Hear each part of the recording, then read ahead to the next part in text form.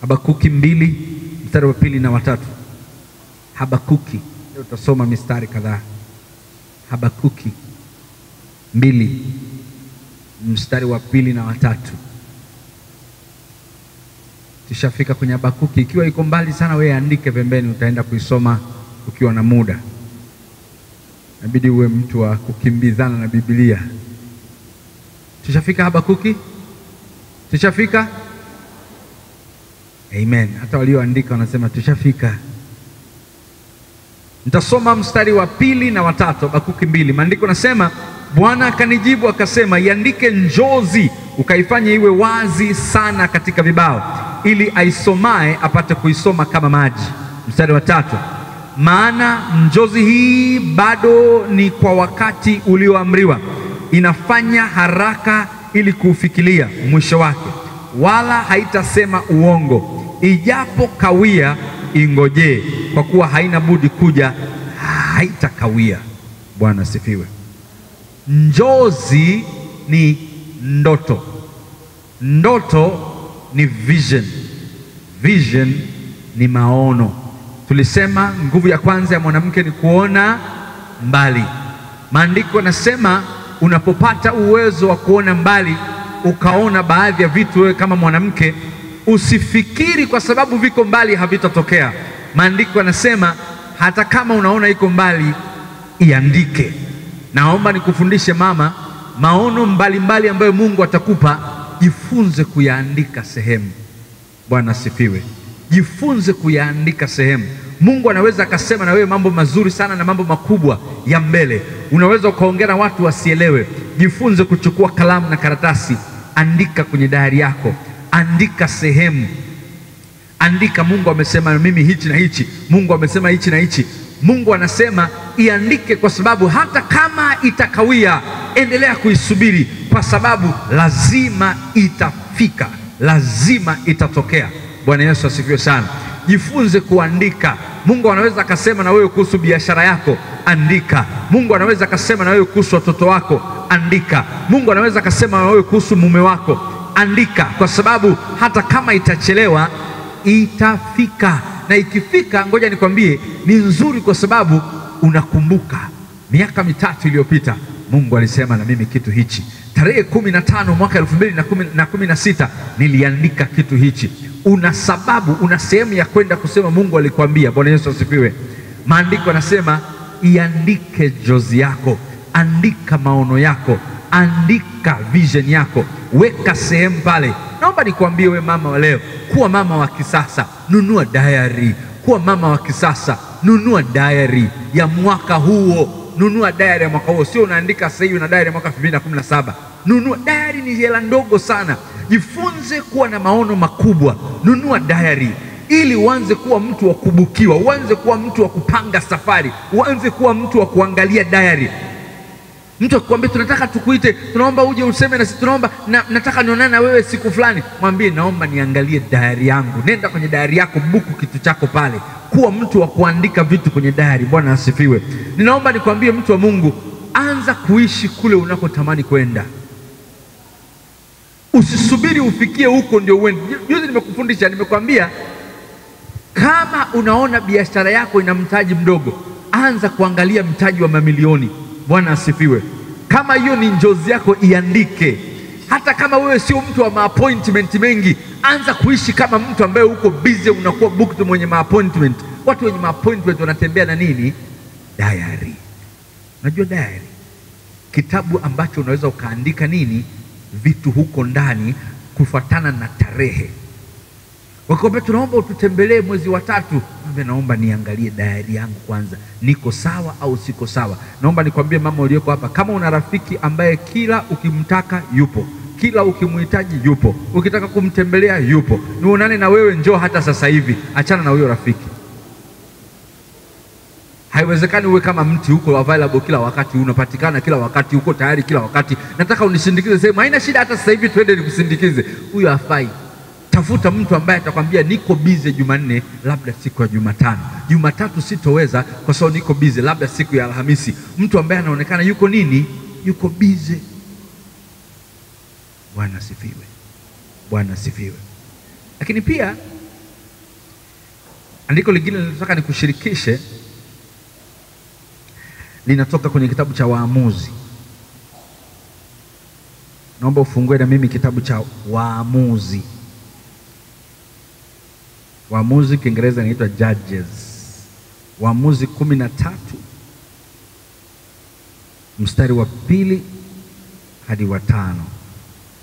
Waamuzi, Waamuzi, Waamuzi, Waamuzi iko huku mwanzo.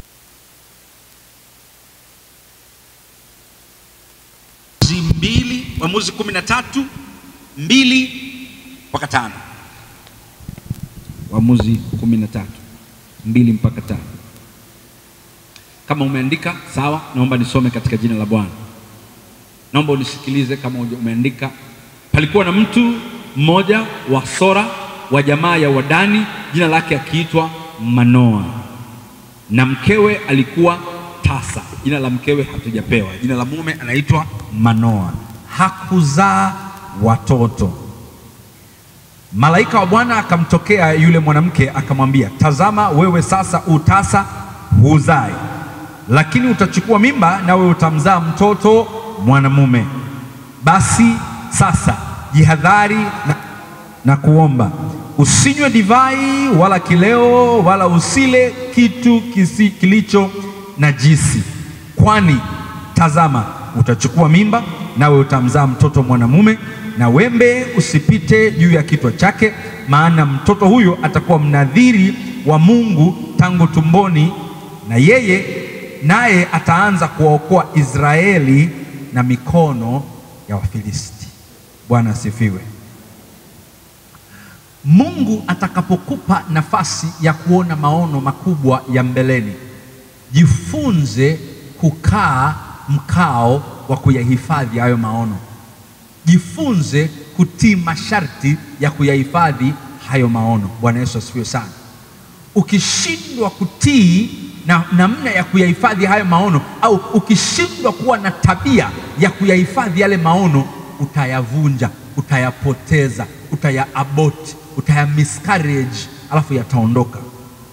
Haijalishi Mungu amesema na wewe mambo mangapi, haijalishi Mungu amekuahidi nini, usipokuwa na tabia ya kuyaatamia yale maono na ukayabeba kama mimba ambayo unatamani isitoke, ukatii masharti ya yale maono, hautokaa ufike mbali, maono yako yatatoka. Kumbuka nimekwambia nguvu kubwa aliyonayo mwanamke, ya kwanza ni uwezo wa kubeba maono na uwezo wa kuona mbali na uwezo wa kwenda na yale maono mbali, lakini naomba nikwambie, jifunze kukaa mkao wa kuyahifadhi hayo maono. Kuna vitu Mungu anaweza akasema na wewe sio vya mwaka huu. Kuna vitu Mungu anaweza akasema na wewe vya ndoa ya mtoto wako, wakati mtoto wako ana miaka kumi na mbili, miaka kumi na tano.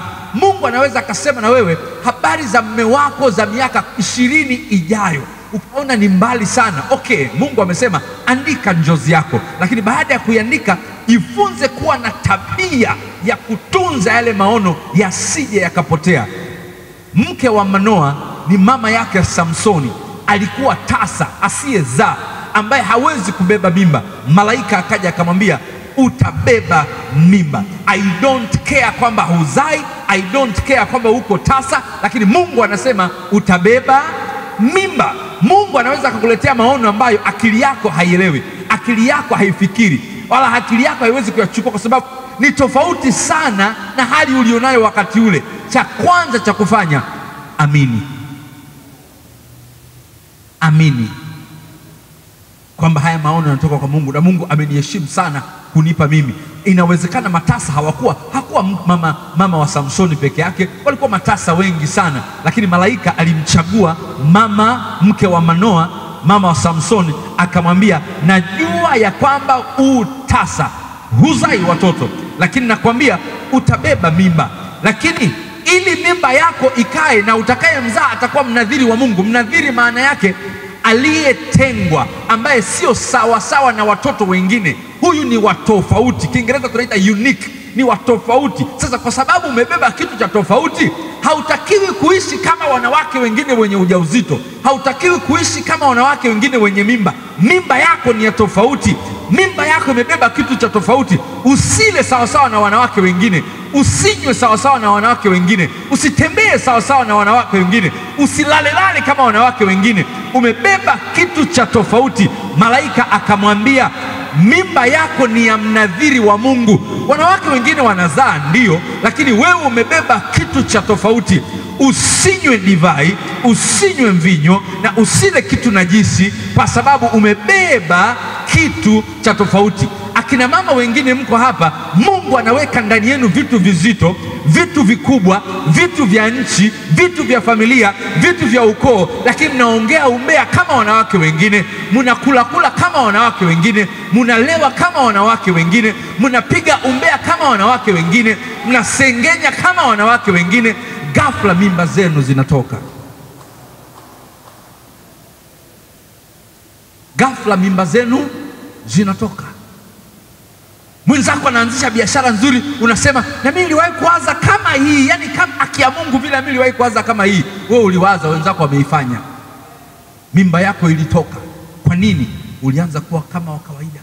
Ngoja nikwambie, mara nyingine Mungu anakupa mimba ya kubeba vision ya, ya mume wako, kitu kizito kwa ajili ya mume wako. Usikae kama wanawake wengine ambao wanajibizana na mume wake kama wanawake wengine. Unakuwa wa tofauti, kwa sababu ndani yako umebeba kitu cha tofauti, ndani yako umebeba kitu cha tofauti. Usiwe kama mke wa kawaida, kwamba mume akiza na wewe unajibu, akimwaga ugali unasema na mwaga ugali, mimi namwaga mboga. Ah, kuwa wa tofauti, umebeba kitu cha tofauti. Itatoka hiyo mimba, itatoka, itatoka. Na Mungu ni Mungu ambaye akiweka vision hapa yenye manufaa kwa watu fulani, akaona wewe huko tayari kukaa na hii mimba, anatoa napeleka kwa mtu mwingine ambaye yuko tayari. Bwana Yesu asifiwe sana. Mungu haangalii wakamilifu, anaangalia walio tayari kukamilishwa. Mungu atafuti aliyeko kamili, anamtafuta mtu ambaye yuko tayari kukamilishwa. Kuna akina mama wako huko hawajazaa na wala hawajawahi kuzaa na, ha, na hawana kizazi kwa sababu ni tasa, lakini ndani yao wana kiu ya kubeba mimba, ndani yao wana kiu ya kulea watoto, ndani yao wana kiu ya kunyonyesha watoto. Mungu anaangalia wale wenye uwezo wa kubeba mimba, wenye maziwa yenye maziwa, hawako tayari kubeba, anachukua uwezo, anapeleka kwa wale walioko tasa, wanazaa watoto. Bwana Yesu asifiwe sana. Are you ready? Uko tayari kubeba hiyo mimba? Usiwe mtu wa, wa, wa, wa, wa kawaida. Huwa nawaambia watu wengine, inabidi ukiwa na vision ya biashara, ukiwa na vision ya safari, ukiwa na vision ya kusoma, unaweza kukuta huna elimu, unaweza kukuta hujasoma vizuri, lakini ndani yako unasikia kiu ya kufanya masters, ndani yako una unasikia kiu ya kusoma digrii ya pili, alafu digrii ya kwanza yenyewe unachechemea, lakini mwambie ndani yangu ninaona kabla Yesu Kristo ajaja nitasoma tu hiyo digrii. Vision, unajua vision, natoka kwenye kijiji ambacho kijiji chote unaweza ukaangalia ukahesabu digrii za kwanza, ya kwanza digrii moja ukahesabu kijiji kizima, lakini ndani yangu niliwahi kusema sitaki moja wala mbili, nataka tatu. Unaweza ukaona kitu ambacho watu wengine hawawezekani. Naomba nikwambie, ukiona vision yako haikutishi, bado vision yako ndogo. Unatakiwa uwe na vision ambayo wewe mwenyewe ukiwaza unaogopa. Ah, Mungu wa mbinguni, hivi naota nachanganyikiwa. Hiyo ndio ndoto. Ndoto yako inatakiwa ikutishe mwenyewe. Unawaza biashara ambayo unataka kuwa nayo, unawaza supermarket, unawaza wewe mwenyewe unajiona hivi nachanganyikiwa, au nawaza. hiyo ndio nini? Ndio ndoto. Mungu wetu sio Mungu wa kuota vitoto vidogo vidogo. Mungu wetu ni Mungu mkubwa. Anasema mbingu na nchi ni mali yake, fedha na dhahabu ni mali yake. Maandiko anasema wale wenye dhambi watatu yetu wanakusanya, yani wanafanya kazi bizi usiku na mchana, wanalipa kodi, wanakusanya kwa ajili ya haki. Huoni hiyo ni nzuri? Ota vitu vikubwa, lakini kabla hujaota vitu vikubwa uwe na tabia ya kuatamia. Naomba niwaambie watu wa Mungu mwanga akawa anavaa suruale, anavaa tracksuit, anakimbilia daladala, anadandia, anakula chochote, anakula malimao, anakula machungwa. Akishapata mimba, mambo yanabadilika na mwendo unabadilika na kuketi kunabadilika. Ushaona mwenye mimba anavyokaa, hakai sehemu ni sehemu, anaangalia kwanza, alafu ndio anaweka mkono, na kwanza haweki mwili, anaweka kwanza mkono, alafu ndio anafanya nini? Anakaa. Kabla ya ujauzito anakaa kokote anakaa vyovyote, kaa anaanguka mwili mzima pu, lakini akiwa mjamzito anaangalia kwanza. Kwa sababu ya nini? Sio kuhusu yeye, ni kuhusu alichofanya nini, alichobeba. Umebeba vision, umebeba vitu, umebeba maono. Unasema mimi Mungu ananiambia kama mambo makubwa mpaka naogopa. Alafu wakula kula kokote, waongea ongea kokote, unapiga umbea kokote, unasengenya kokote. Alafu wanawake wakisengenya utasikia wakishamaliza Bwana atusamee kweli, aturehemu. Ndio wanasakavia umbea. Bwana asifiwe. Wanagonga, wanagonga, wanagonga, wanamsema, wanamsema, wanamsema, mtu mwenye ajui kuvaa, mtu mwenye mtu mwenye mume wake anajifanya anamwamini mume wake, mume wake anachepuka, siku akigundua, eh, afu akimaliza, Mungu turehemu.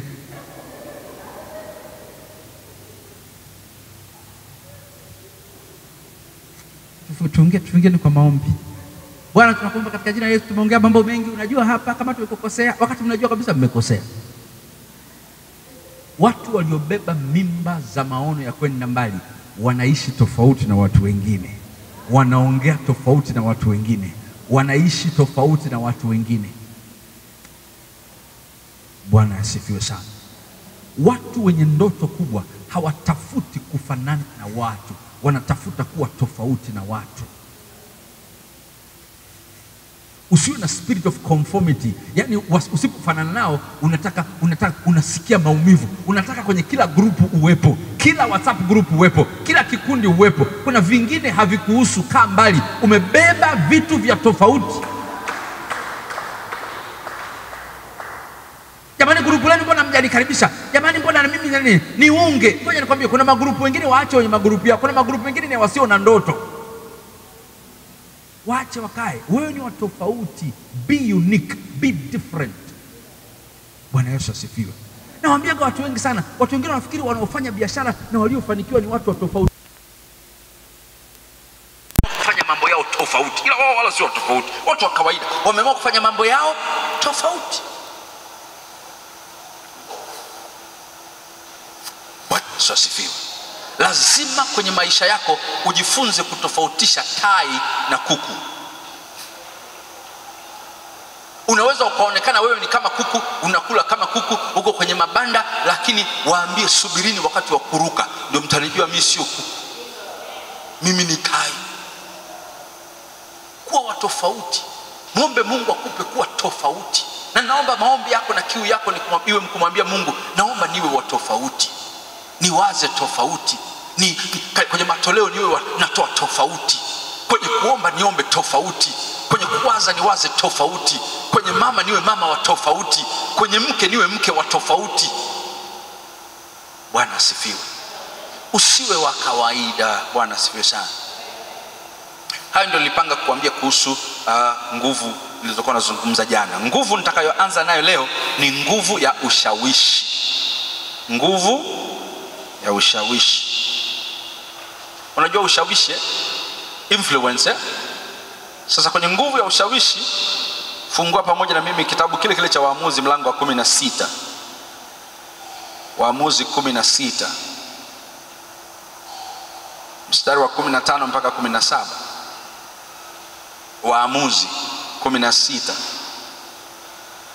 mstari wa kumi na tano mpaka kumi na saba. Maandiko yanasema mwanamke akamwambia, wawezaje kusema na kupenda na moyo wako haupo pamoja na mimi? Umenidhihaki mara tatu, wala hukuniambia asili ya nguvu zako.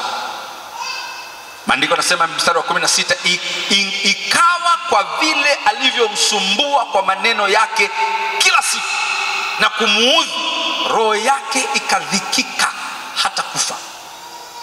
Ndipo akamwambia yote yaliyokuwa moyoni mwake, akamwambia wembe haujapita juu ya kichwa changu kamwe, maana mimi nimekuwa mnadhiri wa Mungu tangu tumboni mwa mama yangu. Nikinyolewa ndipo nguvu zangu zitanitoka, nami nitakuwa dhaifu, nitakuwa kama wanadamu wenzangu. Bwana Yesu asifiwe. Wote mnajua stori ya Paulo ya Sauli ya, ya Samsoni pamoja na Delila. na stori nimekupigia mwanzoni ile ya Manoa, baba yake Samsoni, yule aliyeambiwa usile usinywe uh, vitu fulani fulani, ni mama yake na Samsoni. Sasa Samsoni ameshazaliwa, Samsoni ameshakuwa mkubwa. Nilikufundisha juzi, nikwambia Samsoni alikuwa na wanawake wangapi? Watatu. Wa kwanza, wa pili, wa tatu akawa Delila. Delila ameingia Samso, kwa Samsoni tayari ameolewa, lakini ana mpango, ana mpango ana mpango. Yaani Delila alikuwa ni mke ambaye ameshaingia kwa Samsoni. Samsoni amempenda sana na akampenda mpaka akawaambia wa, wa, wazazi wake, lazima mniolee huyu mwanamke, ninampenda sana. Lakini Delila anaingia kwenye maisha ya Samsoni, tayari ana mpango, tayari. Ana mpango, ana mpango kwa sababu nyuma yake kuna Wafilisti ambao ni taifa lake. Alikuwa ni mama mzalendo sana, binti mzalendo sana, anajua kabisa kwamba taifa langu namtafuta huyu Samsoni, ninaolewa naye, nitalala naye, tutazaa watoto, lakini lazima nimkamate, lazima nimkamate. Nchi yake ilikuwa moyoni mwake kuliko mume wake nchi yake ilikuwa moyoni mwake kuliko Samsoni. Samsoni akaangalia mapenzi, akaingia kuoana na, na, na Delila. Lakini ukiangalia mwanzoni, wazazi wake walimuona walimuona wakamwambia Samsoni, yani kiukweli, katika kabila letu huja umekosa hata mtu. Akaambia huyu ni huyu huyu, namtaka. Naomba nikwambie mama ulioko hapa, jifunze kuomba kwa ajili ya ndoa za watoto wako, kwa sababu Ibilisi anaweza akatengeneza mtu wa kuingia kwenye maisha ya binti yako au mtoto wako wa kiume, ambaye atampoteza. Sio huyo mtoto tu, ataleta vita mpaka nyumbani kwako. Kuna watu wengine mnakumbuka tu kuombea chakula na kuombea usiku mlale. Naomba nikwambie, ombea watoto wako hata kama wana miaka miwili. Mimi na mke wangu watoto wetu, mtoto wetu wa kwanza na miaka kumi na mbili, wa pili ana miaka tisa. Tunaombea familia zao, tunaombea waume wa, wa zao, tunaombea familia hao waume watakakotoka kila siku ya Mungu, kwa sababu kuna familia ambazo walikuwa wana amani sana, walikuwa wanampenda Mungu sana, walikuwa na umoja sana, mpaka kijana alipooa kila kitu kikaisha. Mpaka binti alipoolewa kila kitu kikaisha. Nimeshaona ndoa ambayo binti kijana alimpenda binti akaingia kwenye ile familia, kwa sababu alikuwa ni binti peke yake wa ile familia, akawa karibu sana na rafiki wa yule baba mkwe, lakini kuanzia mbali nia yake ilikuwa ni kuingia kwenye ile familia na kuchukua utajiri wa ile familia, lakini alianzia mbali sana na alipendwa sana na yule baba. Alivyoingia akaipeleka ile familia kwenye umasikini kabisa, na yule mke akamwacha akabaki kama mfalme wa utajiri wa ile familia. Naomba nikwambie, angalia mbali. Wewe ni mwanamke, tazama kule, tazama mbali, tazama mbali, usitazame hapa, tazama mbali. Nyanyua macho yako, tazama mbali, na unavyotazama mbali, jifunze kumwambia Mungu kule unapotazama Bwana Yesu asifiwe sana. Samsoni akawa anakaa na Delila kama anavyokaa na mke tu, bila kujua Delila ana mpango. Alikuwa kwenye project Delila alikuwa kwenye project ambayo ilikuwa bado haijamalizika mpaka hakikishe anamkamatisha Samsoni kwa Wafilisti, project yake ishe. Kwa kila siku akawa anamwambia, naomba niambie mpenzi, we nguvu yako nini? Anamwambia hichi, anamdanganya, akinyanyuka anakatakata kila kitu, anamwambia hichi, anamdanganya, anamnyanyua, anam... Maandiko anasema kwa alivyomwambia kila siku na kumwambia na kumsisitiza kila siku, moyo wake ukachoka hata kufa. Yaani alikuwa alikereka kwa jinsi ambavyo kamshawishi kamshawishi, akafika point akaona I cannot sustain anymore, yaani siwezi kuvumilia hii sauti ya huyu mama. Akamwambia, tangu tumboni kwa mama yangu wembe haujawahi kupita kwenye hii kichwa. Mimi nimeteuliwa kuanzia tumboni kuwa mnadhiri wa Mungu. Ukichukua wembe ukanitia kwenye kichwa changu, mimi nguvu zangu zote zitaisha, nitakuwa kama wanadamu wengine. Delila, unafahamu alichofanya? Hakumkalisha kwenye kigoda, hakumkalisha kwenye sofa, akamweka wapi? Maandiko anasema mapajani naomba niwaambie, mara nyingine mume wako anaweza akaondoka akaenda kuwekwa mapajani huko, akasahau kwamba na watoto. Kuna kina mama wanakaa nakuuliza Mungu, Mungu niambie, huyu mama amempa nini? Huyu binti amempa nini? Wengine wanaenda kuwekwa mapajani, akinyanyuka hapo hana nguvu hata moja.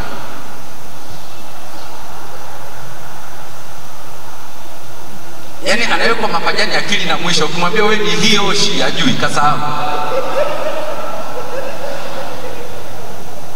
Mama moja alikuja ofisini kwangu, mume wako alijilibiwa mpaka akabidi amuulize yule mama, akamwambia please, wewe ndio uwe rafiki yangu, naomba uniambie umempa nini? Haki ni mjeuri huyu baba, hujawahi kuona umempa nini? Yule binti akamwambia ngoja nikimalizana naye nitakwambia.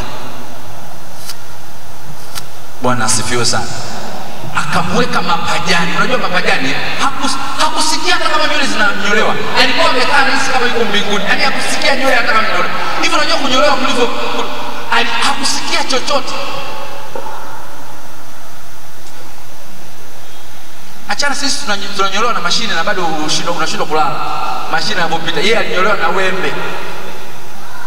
Hivyo unajua wembe wembe unakuzana na ngozi. Yani wembe ukipita kwanza una, una, una, lakini akalala. Yani, yani akalala. Kwa sababu maandiko anasema alipomaliza alimshtua. Kwa sababu alikuwa amefanya nini? Kalala. Unafahamu mchezo na mapaja nini wenyewe mlioko hapa ambao kwenu mmeshindwa kuweka mapajani shauri yenu watakutana na delila. Akikaa mapajani anaanza kujiuliza hivi hapa ni wapi? Mkoa gani jiji gani? Ananyolewa kila kitu. Hivyo mjawahi kuona watu wakiendaga kwa mawara mara nyingine unashangaa utajiri wake unaisha ghafla. Mali zake zinaisha ghafla. Wengine afya yake inaisha ghafla. Kuna watu kuna mtu wewe Dodoma alipata mama moja akaenda alivyorudi kwa mke wake. Mke wake alisema yule yule baba sijui amekuja yeye sijui ni mjukuu ameisha ametembea amechoka Afu anarudi kwa wife watu wandoa ndoa kazi za kufanya anaondoka ana afya anarudi majivu alafu unabidi umpokee ufanye anaondoka ana mafuta anarudi ana mifupa hapo kuna wale wanawachukua na wakaenda kwa Mungu wewe ongeza kutunza mafuta si upo wewe ongezeka kwa kwa kwa kwa kwa shida anaondoka wakati wa shida kwa kwa furaha kwa wakati wa nini alafu akijaga wanakuwa wamenyoka mke wako tulia hapa mke wangu tulia hapa tulia hapa usiniache chonde chonde mtoto wa watu mimi maswali haya leo alikuwa hayajui kweli ameondoka yakumbuka una hasira ukitazama tu una- unatamani mtu kwenye breka umsage awe juisi hiyo lakini ndani yako wewe ni mama wa tofauti unataka uache mfano kwa watoto wako kwamba baba aliondoka akarudi nikamchukua unataka uache mfano kwa watoto wako watu wanakwambia baba mama mmoja baba ni baba yenu akiwa amekonda au amenenepa ni baba yenu akiwa mwamono na mgonjwa ni baba yenu ukimwambia mtoto kama huyu akienda kwenye ndoa akipata fakafaka kweli kwambie hakufanya mchezo ndoa anakuta mama yake aliwahi kumfundisha wako watoto wengi sana leo wanakimbizwa na wanavunja ndoa zao kwa sababu hawakuwahi kuona uvumilivu kwa mama yao mama yao kila siku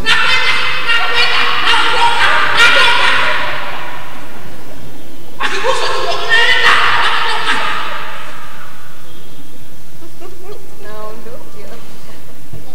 na kuna magambo ukiondoka unakuacha unaenda unakaa sehemu wewe mwenyewe unarudi na vitu vyako kwa kweli siku la shangazi yako unajikulia ndio unarudi vijana hapo unakuta ni jamaa na vipi umerudi unamuulizana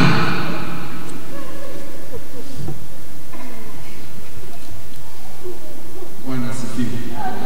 Samsoni, Samsoni akawekwa kwenye mapaja akanyolewa nywele zote.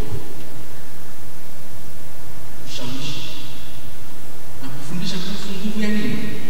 Ushawishi. Naomba nikuulize wewe mama uliyeko hapa, Mungu amekupa nguvu ya ushawishi kama mtaji ndani yako. Kila mwanamke amepewa nguvu ya ushawishi. Ishi ni kwamba unatumia vipi huo ushawishi? Unautumia vizuri au unautumia vibaya? Delila aliamua kuutumia vibaya kwa upande wa ufalme wa Mungu. Lakini kwa Wafilisti aliutumia vizuri, kwa sababu ali- alitimiza dini, alitimiza project ya Wafilisti. Naomba nikwambie wewe, mama, umepewa ushawishi kwa mume wako, umepewa ushawishi kwa watoto wako, umepewa ushawishi kule unapoolewa, umepewa ushawishi kwa wazazi wako, umepewa ushawishi kwenye kazi yako, umepewa ushawishi kwenye biashara yako. Unatumiaje ushawishi wako? Naomba nikwambie, kina mama wengi sana wanatumia ushawishi wao vibaya vibaya. Ukishaona mume amekuwa anakupenda sana, ndio unataka umtenganishe na ndugu zake kabisa. Mwisho wa kumi na mbili tunaenda likizo, bali tunakwenda nyumbani, tunakwenda nyumbani, watoto huko hawapendi sana, watoto hawaenjoy sana. Mwisho siku kijana watu likizo zote anakwenda kwa kwa wewe, alafu wake sababu umetumia ushawishi vibaya. Nimeona kina mama kutumia ushawishi wao vibaya, anaingia kwenye ndoa ambayo mume wake ana watoto wengine, au inatokea bahati mbaya atapata mtoto alafu anawaleta nyumbani au anawatunzia huko waliko. Mama mwenye watoto wake anaanza kuwashawishi watoto wake wa kuzaa wawachukie wale watoto wengine, wanawaambiaga ili na mume wako aliyofanya kosa, lakini watoto wanabaki pale pale ndugu. Ukifanya mchezo, Mungu wetu usizalimu atawanyang'anya watoto wako, atakuja kuwafanya wawategemee wale wengine. Unaona hiyo sana, wanakuja kuwategemea wale wengine. Usifikiri kuwasomesha international na wale wakasoma Kayumba ndio maisha. Maisha kana ni karata, yanakuja kugeuka namna hiyo, alafu wanawategemea wale. Ninaona hizo familia sana, ninaona hizo familia. Kuna mmoja yuko pale Dar es Salaam na rafiki yetu, ana mke wake wazuri, matajiri, mabilionea, mume wake na watoto wawili wa nje wakubwa kabisa. Yule baba anajaribu anajaribu kuwaweka kwenye makampuni yake, yule mama anawafukuza na kusema uongo kwa ajili yao, kufanya mpaka rafiki zao zichukuliwe na watoto wake. Yule baba ana nguvu kufanya ile influence, mama ni mwongeaji, mama mmoja akishasema amesema. Kuna wamama ambao ni dominant, akisema amesema, hata kama nataka nitumie ushawishi, watoto wake wakachukua position, wale wengine wakaenda huko, baba yake sasa anapenda ndoa yake akaweka pembeni na kuwapa vipaji waende kwingine kwingine. Naomba nikwambie, tumeanza kuzika watoto wa yule mama mmoja mmoja, na wengine walikuwa wakishindwa, wameoa ndoa zimevunjika, wanasaidiwa na wale wakubwa ambao walikuzwa kama kuku wa kienyeji.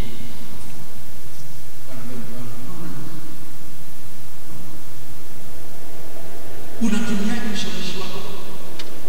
Unatumiaje ushawishi wako? Mama mmoja akaleta mtoto wake kwangu, nilikuwa naongea na yule kijana anaenda kusoma kusini, masomo akamshinda, nikawa naongea naye, kama kuna shida hapa, nikawa naongea naye. Yule kijana akaniambia, lakini ngoja nikwambie kitu, simwambie mama yangu.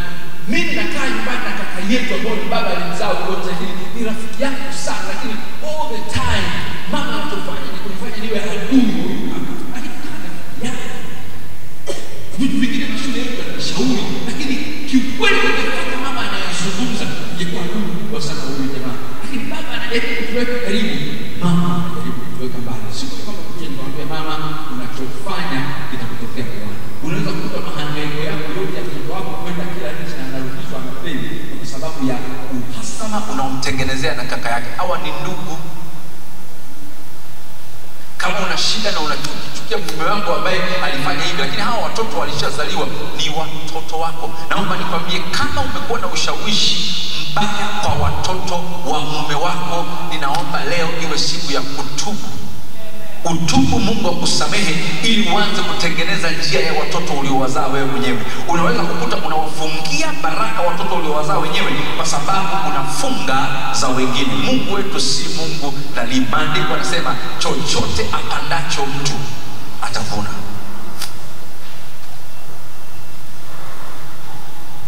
Atavuna.